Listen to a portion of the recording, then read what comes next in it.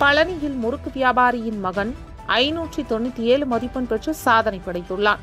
பழனி அருகே நெய்க்காரப்பட்டியில் முறுக்கு வியாபாரம் செய்து பிழைப்பு நடத்தி வருபவர் பாலமுருகன். இவரது மகன் பால சந்தோஷ் ராஜ் நெய்க்காரப்பட்டி கிராமத்தில் உள்ள பிஆர்ஜி மேல்நிலைப் பள்ளியில் பிளஸ் டூ படித்து வருகிறார்.